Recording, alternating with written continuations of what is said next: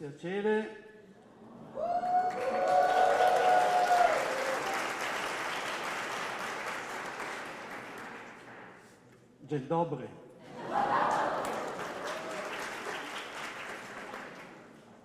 And this is all my Polish.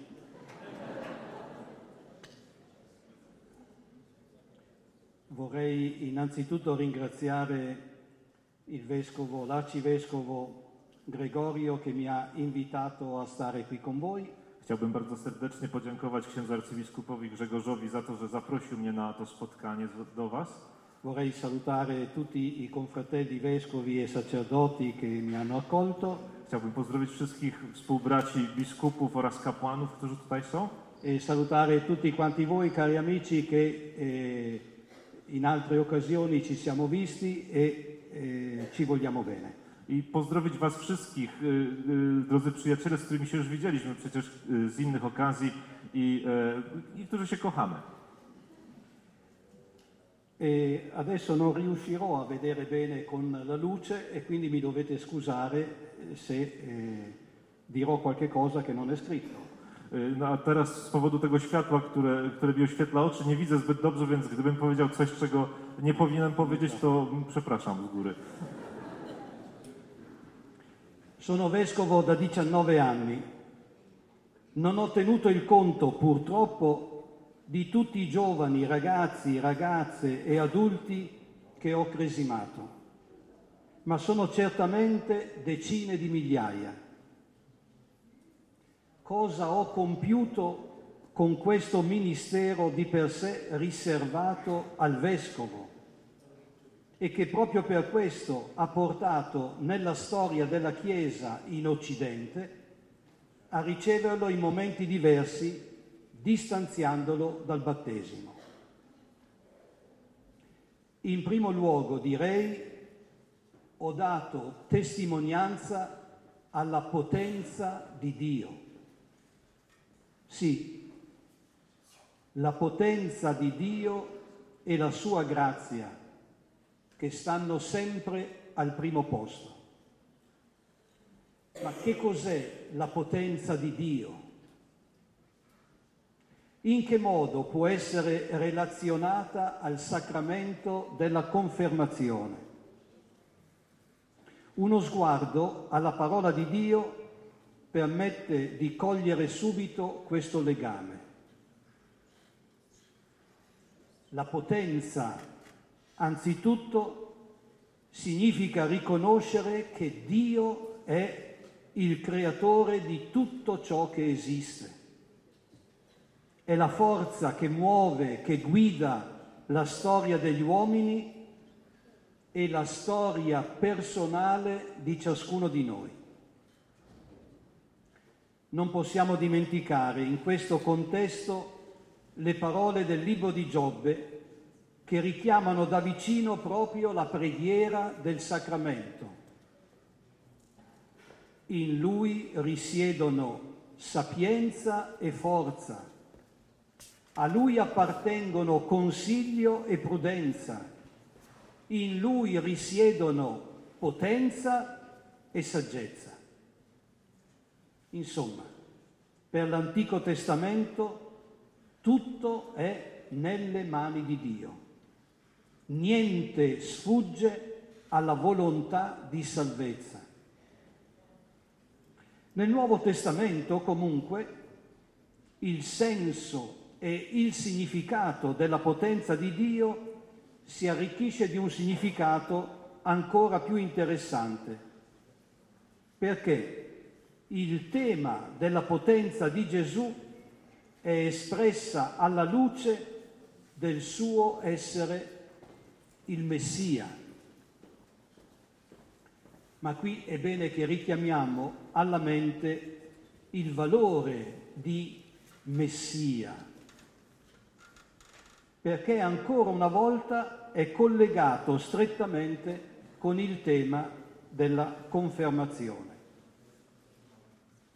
Il messianismo, di fatto, è l'aspetto dominante che da 4.000 anni sovrasta la storia dell'uomo.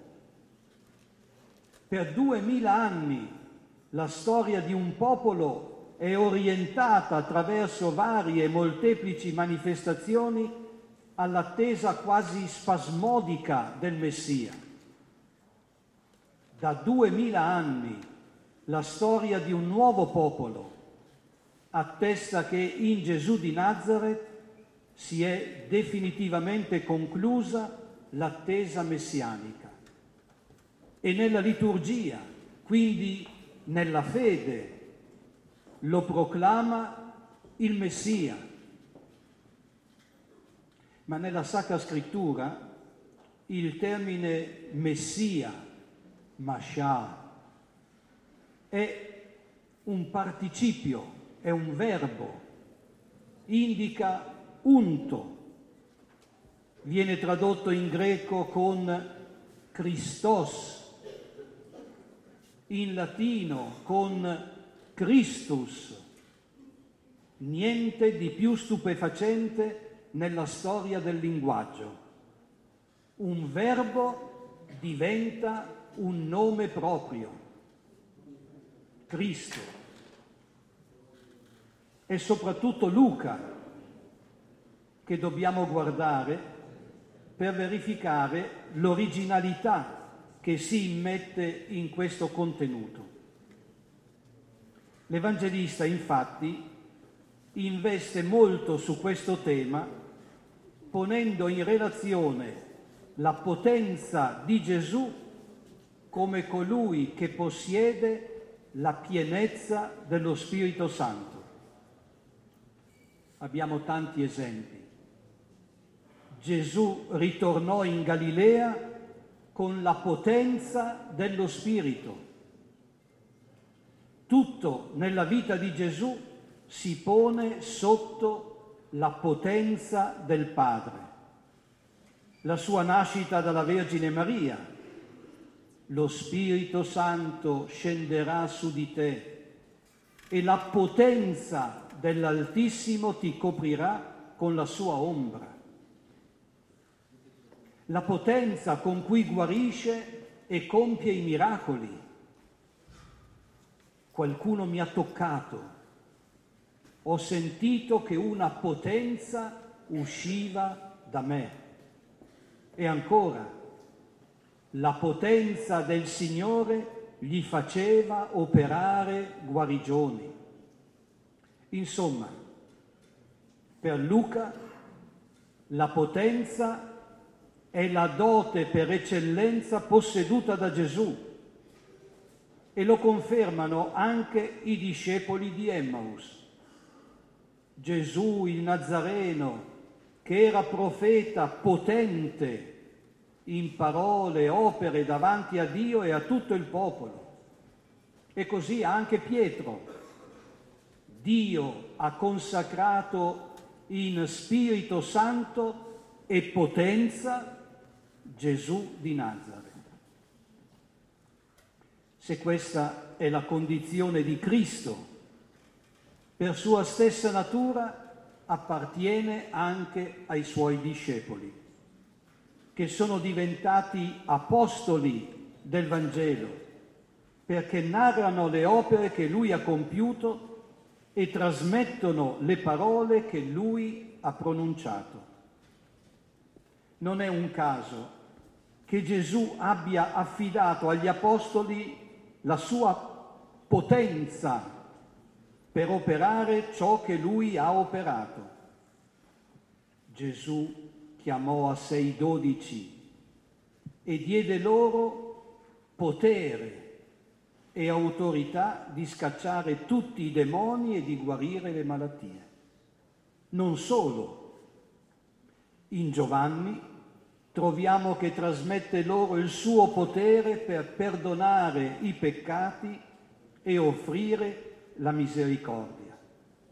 In una parola, Gesù promette esplicitamente ai suoi discepoli che saranno rivestiti loro pure della potenza che viene dall'alto, per essere testimoni fedeli del suo Vangelo. L'attività evangelizzatrice di Paolo si realizza all'ombra della potenza dello Spirito con la potenza dei segni miracolosi e dei prodigi, con la potenza dello Spirito, partendo da Gerusalemme e muovendomi a largo raggio fino all'Illiria, ho condotto a termine l'annuncio del Vangelo di Cristo. Da ultimo, la stessa potenza dello Spirito è presente nella comunità e costruisce il percorso della comunione che ogni credente in Cristo è chiamato a fare suo per esprimere al meglio la vita di grazia. Il Dio della speranza vi ricolmi di ogni gioia e pace nel credere, in modo che voi abbondiate nella speranza per la potenza dello Spirito Santo. Questo è un testo molto importante perché permette di cogliere nella potenza del dono dello Spirito la vita spirituale e la vita di fede che ogni credente è chiamato a percorrere come testimone della speranza. La speranza è ciò che contraddistingue il cristiano, perché lo rende fedele nell'attesa dell'incontro con il Signore e segna nello stesso tempo la forza della sua testimonianza come abbandono fiducioso in Lui. Questi brevi richiami sono molto importanti per comprendere il legame con la cresima. Chi riceve il sacramento viene unto per ricevere la potenza dello Spirito Santo con cui diventare testimone nella Chiesa e nel mondo della speranza di Cristo risorto. È sostenuto dall'unzione per essere annunciatore del Vangelo, missionario dell'amore di Cristo. I doni dello Spirito di cui viene riempito sono necessari perché il cammino di fede possa sempre di più essere accresciuto e sostenuto per la partecipazione alla vita della comunità a cui partecipa, costruendola come segno visibile della comunione trinitaria.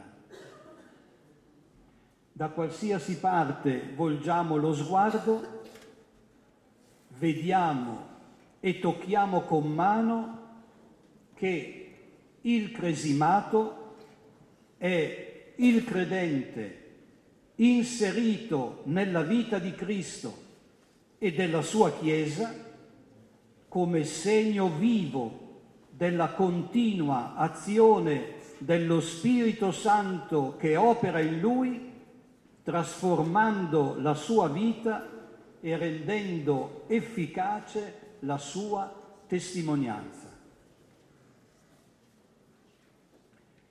Ma c'è un secondo aspetto che il sacramento della confermazione esprime ed è necessariamente legato alla configurazione come un sacramento della iniziazione cristiana. Non possiamo nasconderci le difficoltà pastorali che oggi sono presenti in larghi strati della comunità cristiana. Di fatto, pur parlando di sacramenti dell'iniziazione cristiana, stiamo parlando di tre sacramenti divisi tra di loro nell'arco di anni. E oltre a questi tre sacramenti abbiamo anche un quarto sacramento, che è il sacramento della riconciliazione. Ksiądz arcybiskup dodaje, y, że sakramenty, które są podzielone inicjacji chrześcijańskiej, w tym momencie nie tylko, że są trzy, które zmieniły swoją kolejność, ale również mamy czwarty, czyli sakrament spowiedzi świętej, który wszedł między chrzest a Eucharystię. Ora, se è chiaro dal punto di vista teologico che la successione è quella di battesimo, confermazione, Eucaristia, pastoralmente invece il percorso è modificato. Abbiamo battesimo, Eucaristia, confermazione. Questo slittamento ha portato di volta in volta a verificare l'età della confermazione che come tale non è un problema, ma lo può diventare nell'ordine della spiegazione del sacramento. Ciò che spesso avviene, tuttavia, è che la pastorale determina la spiegazione del sacramento, mentre dovrebbe essere il contrario. Il sacramento determina la vita della comunità. Insomma, siamo spesso dinanzi ad una determinazione del sacramento in funzione della pastorale, mentre dovrebbe essere la pastorale in funzione del sacramento. Noi modifichiamo l'età della cresima per tenere con noi i ragazzi il più a lungo possibile. Że niestety dzieje się tak w, naszym, w naszej wspólnocie, że y, zmieniamy wiek bierzmowania po to, żeby trzymać jak najdłużej młodych w kościele.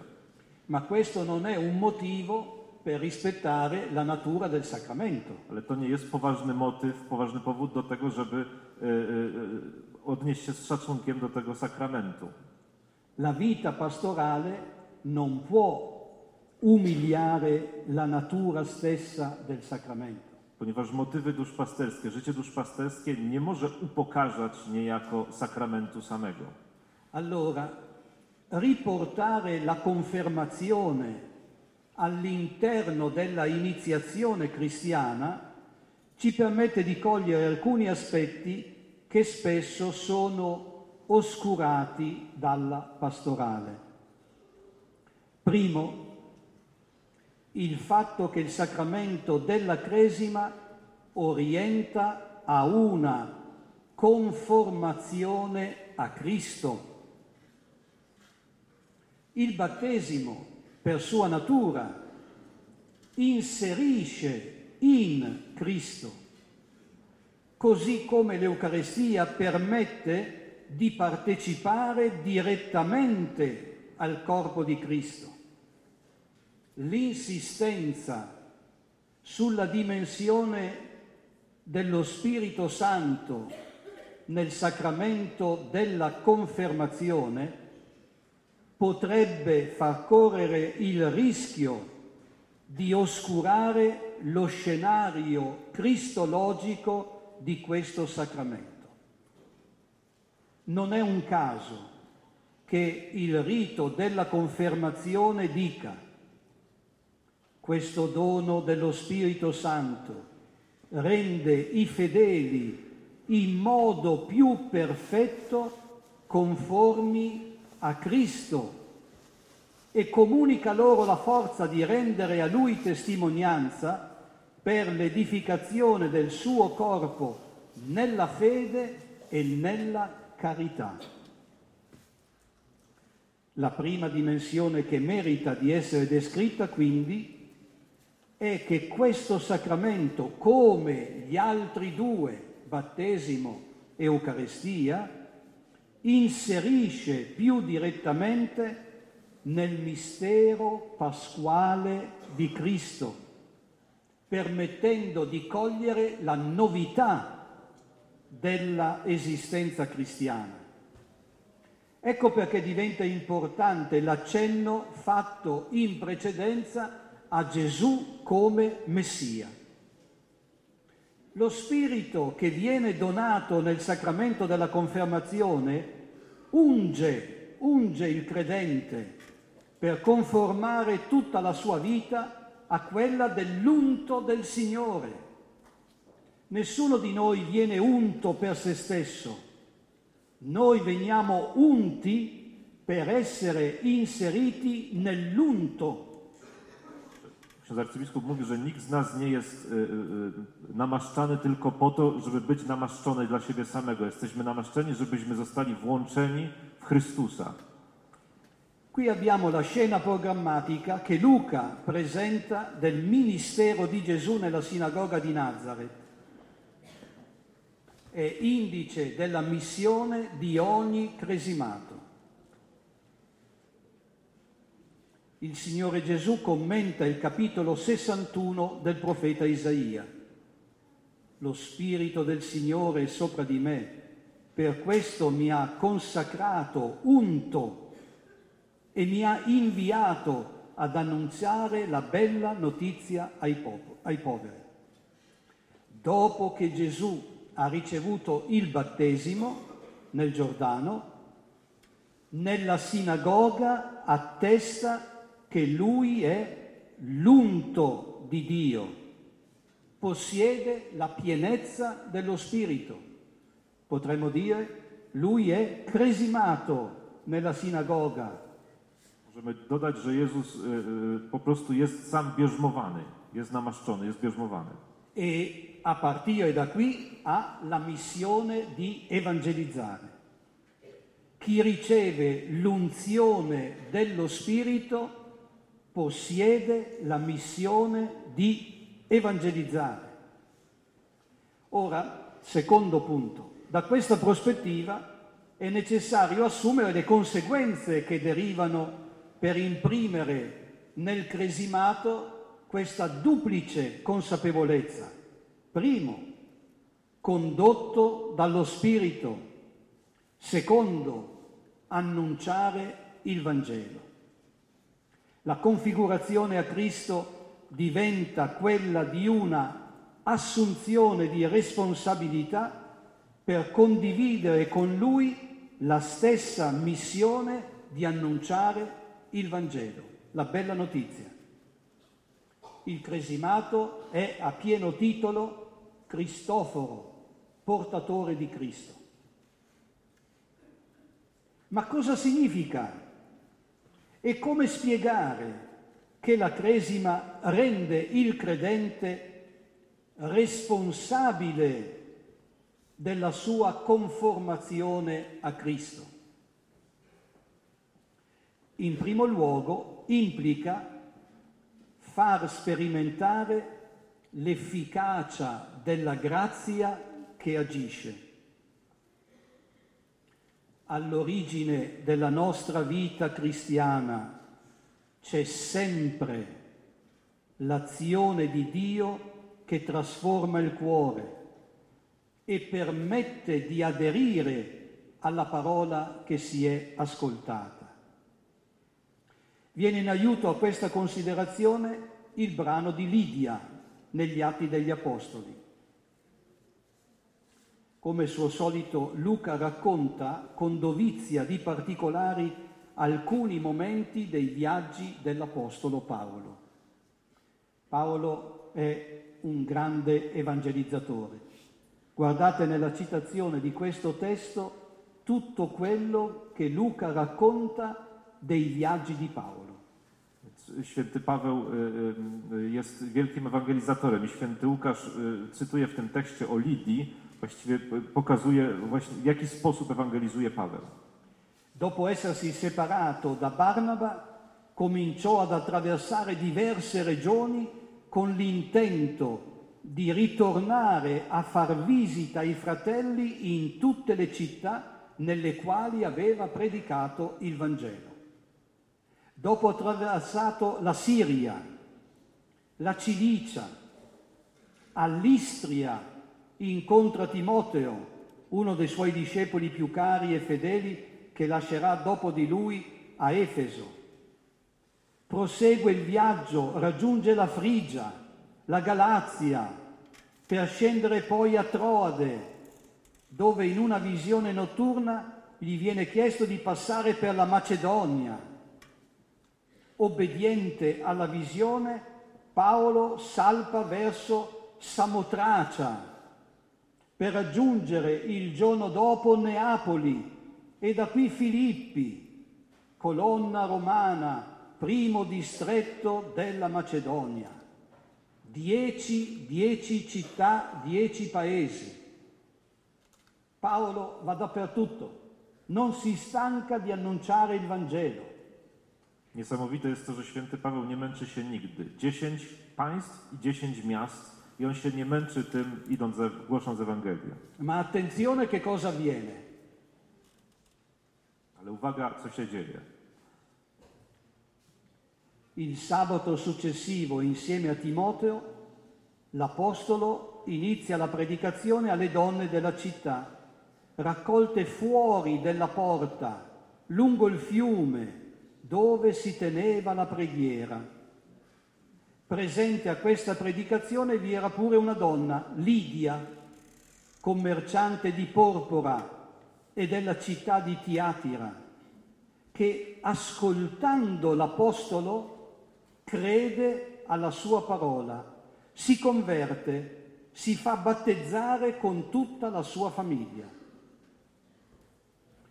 Il racconto della conversione non è differente da molti altri, ma qui comunque c'è un particolare che attira la nostra attenzione e merita di essere sottolineato.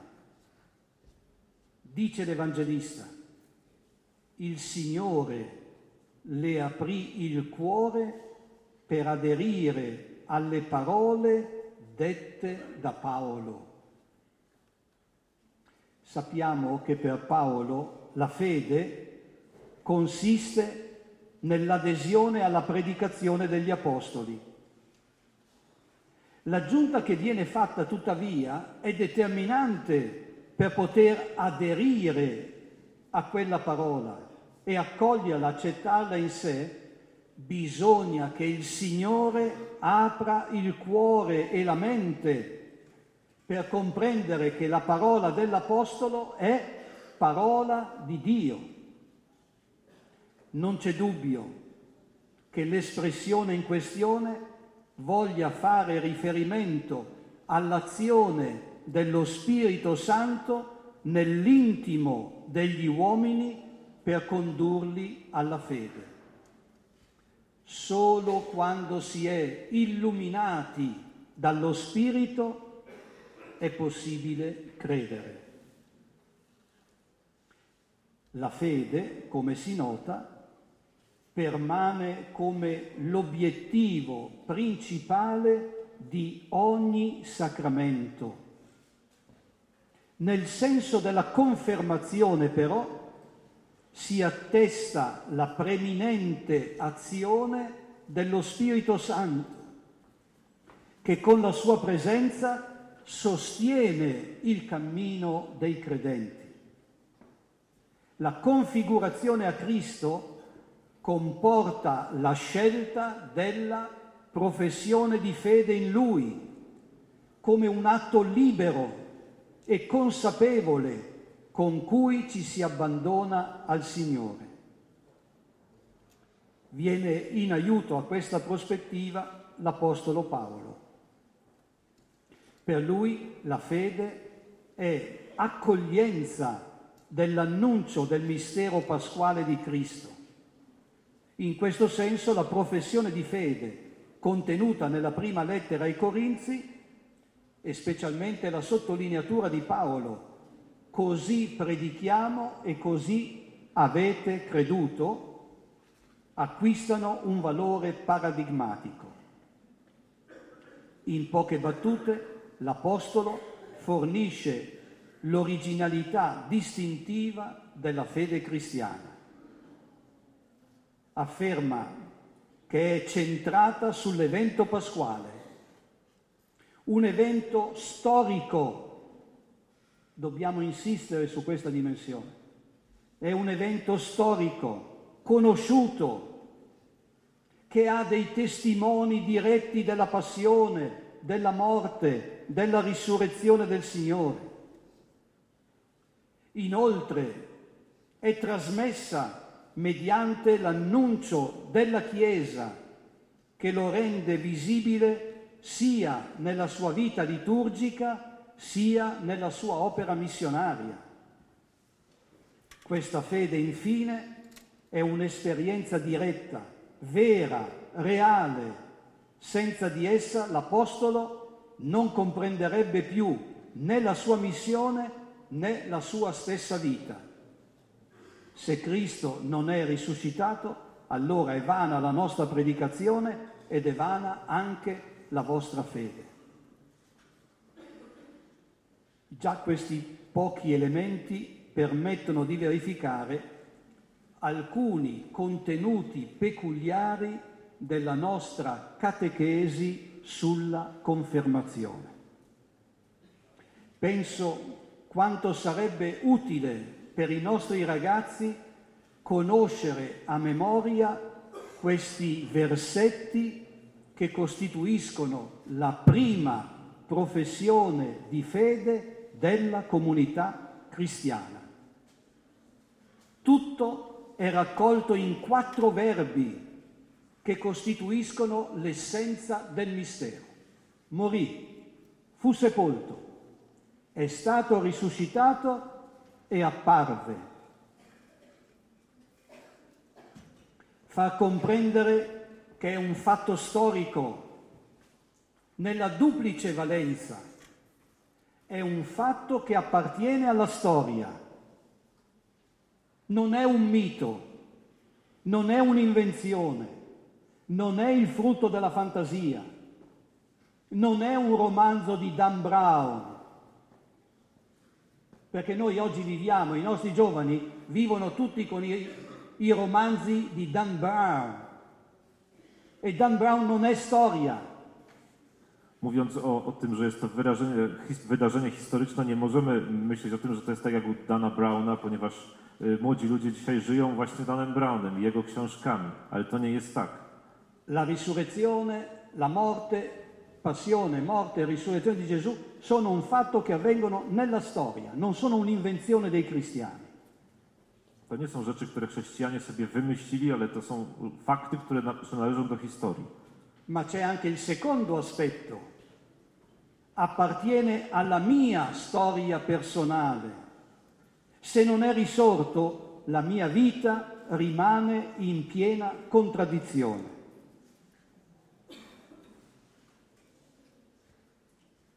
Cari amici, quattro verbi. Morì, fu sepolto, è stato risuscitato e apparve. Questa è la professione di fede di ogni cristiano. Questo è quanto dovrebbe ogni cresimato conoscere immediatamente. E sono dei verbi, indicano una azione. Moi drodzy przyjaciele, cztery czasowniki. Umarł, został pogrzebany, zmartwychwstał i ukazał się. To jest pierwsze wyznanie wiary, podstawowe i to są czasowniki, czyli wskazują na dynamikę, wskazują na czyn. Questo evento è trasmesso dalla comunità cristiana, la Chiesa, di cui ora faccio parte in modo consapevole, perché mi sono presentato al vescovo e ho detto il mio nome. Non fate mai dire al padrino o alla madrina il nome quando si presenta al vescovo. Bardzo istotnym jest, żeby nie zmieniać tego rytu i nie sprawiać, że to y, y, chrzestny albo chrzestna mówią imię w moim imieniu. To ja mam powiedzieć biskupowi moje imię, a są takie przypadki, że się to zmienia. Quando sono stato battezzato, papà e mamma hanno detto il mio nome. Kiedy byłem ochrzczony, to rodzice powiedzieli moje imię. ma adesso è la mia presentazione, adesso è la mia scelta. Ale teraz to ja wybieram i to ja prezentuję siebie. E quindi io dico il mio nome al vescovo. I dlatego to ja mówię moje imię biskupowi. Ma la Chiesa rende visibile con le opere la risurrezione di Cristo. Questo diventa decisivo per chi afferma di appartenere alla Chiesa, scoprire che l'annuncio del Vangelo si coniuga con la testimonianza delle opere di misericordia. In questo contesto ritornano le parole di Papa Francesco. Siamo chiamati a far crescere una cultura della misericordia basata sulla riscoperta dell'incontro con gli altri, una cultura in cui nessuno guarda all'altro con indifferenza, né gira lo sguardo quando vede la sofferenza dei fratelli. Le opere di misericordia sono artigianali, nessuna di esse è uguale all'altra. Le nostre mani possono modellarle in mille modi e anche se unico è Dio che le ispira, è unica la materia di cui sono fatte, cioè la misericordia stessa, ciascuna acquista una forma diversa. Le opere di misericordia infatti toccano tutta la vita di una persona. È per questo che possiamo dar vita a una vera rivoluzione culturale, proprio a partire dalla semplicità di gesti che sanno raggiungere il corpo e lo spirito, cioè la vita delle persone. È un impegno che la comunità cristiana può fare proprio nella consapevolezza che la parola del Signore sempre la chiama a uscire dall'indifferenza e dall'individualismo in cui si è tentati di rinchiudersi per condurre un'esistenza comoda e senza problemi. Penso alla generazione di ragazzi di questi anni a molti dei vostri coetanei, dove oltre alle grandi sfide verso cui dobbiamo prepararli, si manifestano tanti segni di disagio. Vedo spesso nei loro volti e nei loro atteggiamenti la noia per la normalità sembrano quasi spinti dal desiderio di devastare più che di costruire. L'ebbrezza per sfuggire sempre e comunque da situazioni di impegno, per sognare a occhi aperti un mondo che non esiste. La precipitazione verso abissi di morte, come se fossero la via per la liberazione, una forma di divinizzazione dell'illecito che li spinge a compiere gesti insensati. Insomma, mettere nelle loro mani la costruzione della loro vita che punta sull'essenziale e che porta senso. La misericordia è l'essenza del Vangelo e provoca a comprendere se stessi inseriti in un circuito di amore, di perdono che coinvolge in una testimonianza di solidarietà e di fraternità. Ma ciò significa che nella vita di fede siamo sempre in cammino. Non è la maturità umana e neppure quella della fede che possono segnare il cammino per ricevere questo sacramento. È vero il contrario. Chi comprende il valore profondo della fede sa che è posto dinanzi a un cammino che dura tutta la vita. La teologia di Paolo in questo contesto permette di aggiungere ulteriori elementi utili per la descrizione del cammino di fede. L'Apostolo afferma che essa è in grado di qualificare la vita cristiana come una realtà dinamica. Inizia con l'accettazione del battesimo che giustifica e tende ad assimilare sempre più il credente a Cristo nel suo mistero salvifico. In forza di questo è un impegno che dura tutta la vita, non conosce interruzione o alternanza alcuna. Fino alla fine è necessario correre per ottenere il premio. Voi dovete correre in modo da guadagnarlo. Io corro, ma non come chi è senza meta. Faccio il pugilato, ma non come chi batte l'aria. Credere in Dio significa anzitutto credere a una persona. Ciò comporta il desiderio di volerla conoscere sempre di più ed entrare in un rapporto di amore. L'espressione pertanto credere in Cristo mostra il fine stesso della fede, una crescita continua nella fiducia e nell'abbandono in Dio, sapendo che Lui stesso si è impegnato per noi, offrendo suo figlio. Lo ricorda Sant'Agostino.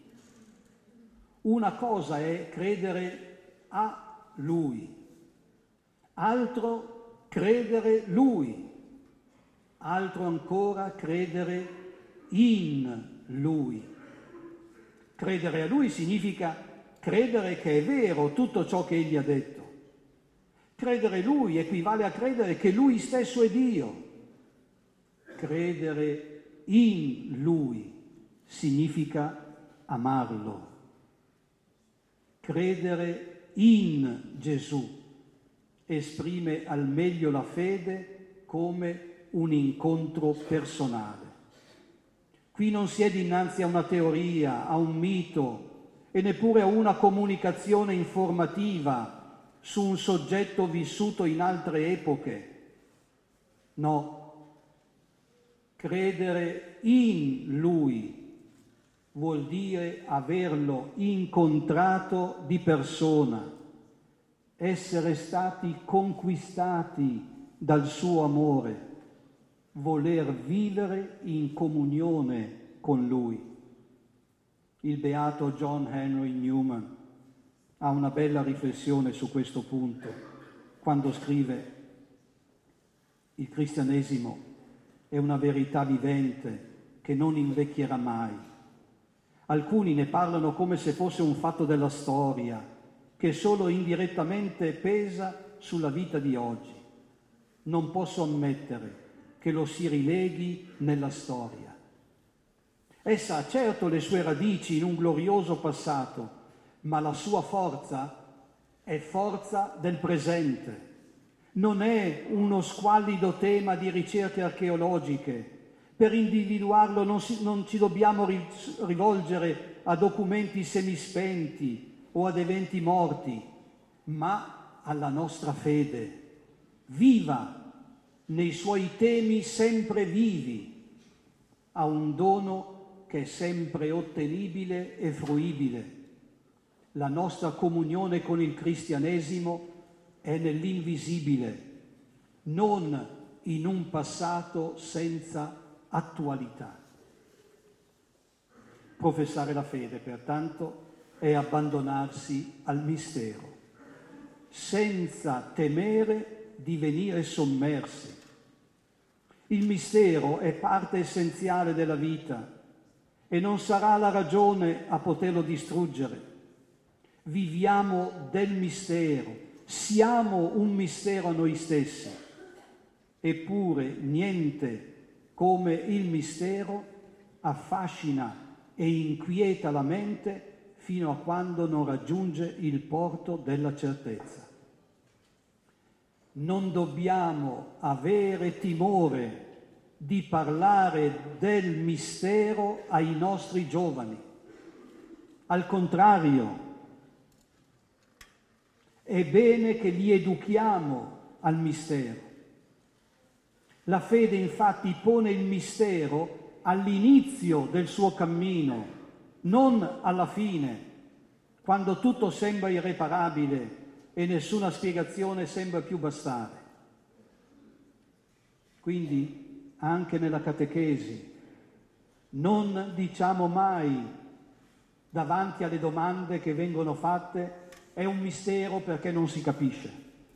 Czyli nawet podczas katechezy nie mówimy, nie odpowiadamy młodym na ich pytania, że to jest tajemnica, której nikt nie rozumie. È un mistero e per questo Dio lo ha rivelato, ce lo ha fatto conoscere. Że to jest tajemnica, ale przez to właśnie Bóg tę tajemnicę nam objawił i sprawił, że ją poznajemy. Pensate a Sant'Anselmo, che è una delle pagine più belle che noi possediamo. Insegnami a cercarti, mostrati a chi ti cerca, perché non posso cercarti se tu non mi insegni, né trovarti se tu non ti mostri. Che io ti cerchi desiderando, che ti desideri cercando, che ti trovi amando, che ti ami ritrovandoti. Io infatti non domando di intendere perché possa credere, ma credo perché posso intendere. Infatti anche questo credo, che se non avrò creduto non comprenderò. Tutto questo diventa particolarmente provocatorio se consideriamo la nuova cultura con cui ci incontriamo, la cultura digitale. Non mi stancherò mai di ribadire con forza che se pensiamo solo in termini di strumenti abbiamo perso ogni possibilità di comprendere il fenomeno digitale. Gli strumenti che utilizziamo, questo, questo non è uno strumento, questo è cultura. Komórka, którą mam w ręku, to nie jest zwykły instrument. Za nią stoi pewna kultura. Pensiamo a internet, al cellulare. Hanno già modificato il nostro modo di comportarci, perché hanno modificato il nostro linguaggio. I nostri ragazzi vivono di questi mezzi come se appartenessero al loro corpo. Per alcuni versi sono un prolungamento di se stessi. Viene sempre meno la comunicazione verbale per sostituirla con quella dell'SMS o di WhatsApp che veicola immagini. Non solo, Internet ti controlla, ti anticipa le domande senza darti il tempo di digitare tutto il termine della tua ricerca. Il fatto di anticipare e di pensare al tuo posto porta inevitabilmente a una forma di pigrizia mentale che poco alla volta elimina il senso critico privando della capacità di fare domande. Niente di più pericoloso per la fede, perché senza l'esigenza di porre domande perde la sua forza. Questa nuova cultura pone a noi il grande problema della questione della verità. Come raggiungerla? Come esprimerla? Non si sfugge a questa dimensione perché costituisce l'essenza stessa dell'esistenza personale e della stessa esperienza di fede. Inserire i nostri giovani in questa nuova cultura con spirito critico mi sembra essere una sfida entusiasmante che possiamo cogliere e realizzare con saggezza. Un ulteriore aspetto che mi preme sottolineare è la partecipazione per la costruzione della comunità cristiana. La fede ha come suo soggetto la Chiesa. Ciò comporta una dimensione comunitaria che si esprime sempre in tutte le forme di vita della comunità. Professione di fede, liturgia, preghiera, testimonianza. non fanno che dare corpo a questa dimensione. Educare a professare la fede come noi crediamo è un impegno che permette di scoprire la ricchezza della vita comunitaria oltre l'individualismo del momento presente. Fin dagli inizi del cristianesimo, il credente ha concepito il suo essere cristiano come l'ingresso nella comunità dei credenti. Sparsa per il mondo intero, inserita nelle diverse terre, nazioni, lingue, la Chiesa ha sempre professato l'unica fede nel Signore risorto, figlio di Dio, salvatore dell'umanità. Il segno concreto ed evidente di questa fede è sempre stato il battesimo. Con quell'atto ognuno affermava la propria libertà di convertire se stesso al Vangelo che la Chiesa proclamava. È da questa fede che nasce la convinzione che la Chiesa è una madre che genera sempre nuovi figli perché non vengano mai ad esaurirsi il popolo scelto da Dio per dare a lui una lode ininterrotta. E qui le parole di Sant'Agostino. Onorate, amate, fate conoscere la Santa Chiesa vostra madre come la Gerusalemme celeste, la santa città di Dio essa fruttifica e cresce nella fede che avete sentita attraverso il mondo intero. Essa, la Chiesa del Dio vivo, colonna e potenza della verità.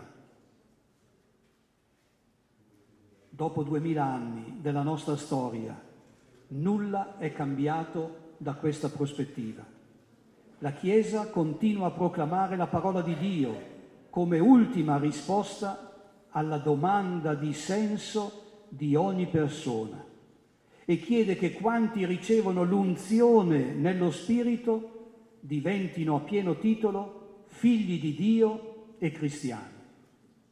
È questo che consente a ognuno di non sentirsi né ospite né straniero in qualunque parte del mondo si trovi. Dovunque esiste una comunità cristiana, là ogni battezzato è di casa, perché la Chiesa professa la sua fede, celebra l'Eucarestia come il momento culminante della sua esistenza. Dove c'è la Chiesa non ci sono migranti o emigrati dove c'è la Chiesa esistono soltanto figli di Dio. Tam, gdzie jest Kościół, tam nie ma ani imigrantów, ani emigrantów. Tam, gdzie jest Kościół, tam istnieją tylko synowie Boga. Io qui sono nella mia Chiesa. Ja tutaj jestem w moim Kościele. Io parlo un'altra lingua, ma questa è l'unica Chiesa. Ja mówię innym językiem, ale to jest jedyny Kościół. E in qualsiasi parte del mondo, chiunque, purché è unto dallo Spirito, è a casa sua, è nella sua comunità. I w jakiejkolwiek byśmy nie byli części świata, tam, jeżeli tylko jestem namaszczony, to jestem u siebie w domu. E questo ci porta all'ultimo tema, e concludo, la testimonianza. Il cresimato è chiamato a offrire la sua bella testimonianza di fede. Paolo VI, l'uomo contemporaneo, ascolta più volentieri i testimoni che i maestri e se ascolta i maestri lo fa perché sono dei testimoni. La testimonianza è necessaria per la Chiesa, per lo svolgimento della sua missione nel mondo anzi è la prima via che essa deve percorrere nella ricerca di mezzi adatti oggi all'evangelizzazione. La necessità della testimonianza personale e comunitaria deriva dal contenuto stesso che vogliamo testimoniare. Il cristianesimo infatti non è ideologia, è vita è vita di un uomo che ha reso la sua testimonianza talmente trasparente da mostrare la perfetta coerenza tra il suo pensare e il suo agire. In una parola, poiché la testimonianza e il testimone sono amore del Padre che si rende visibile, la testimonianza di ogni credente della Chiesa intera è debitrice a questo amore, ma lo deve riportare a ogni uomo che incontra nel suo cammino. Qui si compie l'ultimo atto della testimonianza. Colui che la riceve diventa a sua volta un testimone. È impensabile che una testimonianza data con amore e che ha per oggetto l'amore non provochi l'altro a lasciarsi sedurre e diventare amante. E poiché solo l'amore è pienamente convincente, si deve concludere che ogni testimonianza sarà genuina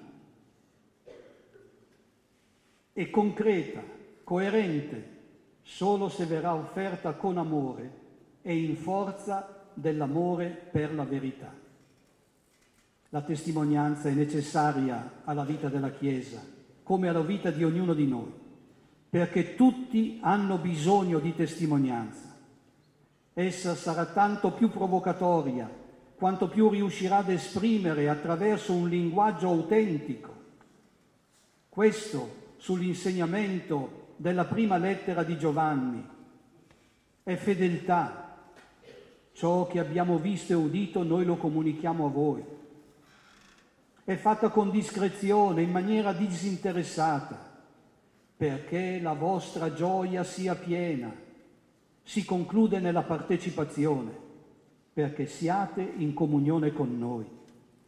La testimonianza diventa in questo modo un'irruzione nella vita di ognuno come una provocazione a uscire da se stessi per andare incontro all'altro. Con la testimonianza di vita, il contenuto della catechesi diventa un linguaggio che non è riservato alla schiera degli iniziati, ma è oggetto di comunicazione universale. Un'ermeneutica della testimonianza farà comprendere come ogni singola testimonianza sia debitrice a quella prima e originaria che Dio stesso ha dato al mondo, Gesù di Nazareth, il testimone fedele. Lui è sintesi, prototipo, paradigma di ogni testimonianza cristiana. C'è quindi una dinamica continua nel suo testimoniare che parte da sé, raggiunge l'intimità più profonda e sfocia nell'amore trinitario di Dio. Questa stessa dinamica diventa regola per la testimonianza di credenti e strumento per chiamare alla conversione in questo orizzonte. La testimonianza acquista tutto il suo senso che le è proprio. Costituisce il punto di passaggio dalla sfera della esteriorità della comunicazione interpersonale a quella della intimità propria a ciascuno. Attraverso la testimonianza. Ognuno dispone di se stesso con l'atto più esplicito ed estremo di libertà di cui è capace, perché si dona all'altro nella sua sfera di intimità, non mediante forme esterne, ma attraverso se stesso, la totalità della sua persona e con ciò che ha di più prezioso, la propria parola come garanzia di verità. Dziękuję.